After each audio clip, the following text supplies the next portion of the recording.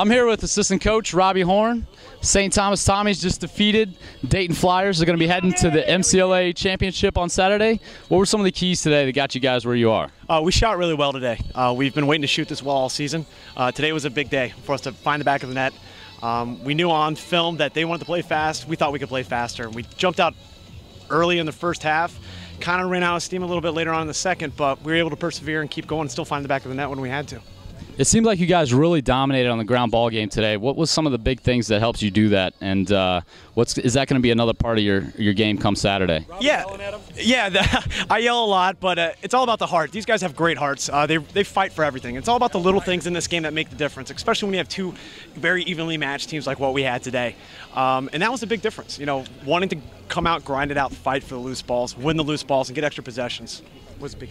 And we got to see you guys in St. Louis. Um, You did some great action there against Davenport and some of the other teams.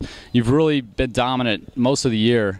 What do you uh, contribute that to? Is it a big off season? What do you uh, What do you do during the off season to get you guys ready to go? You know, we've got a real strong. Uh, Varsity, we- we're allowed to work out the varsity strength and conditioning coaches. Um, that's huge. You know, the boys spend the time. You know, they're the ones that deserve all the credit. They're the ones that put in the countless hours. They have the drive, the ethic, the work ethic to, to let us have success. And it's really a credit to them and what they do all year round. Thanks, Coach. I appreciate it. now we're going to get a breakout from the St. Thomas Tommies. What's your guys' pregame breakout? FTB.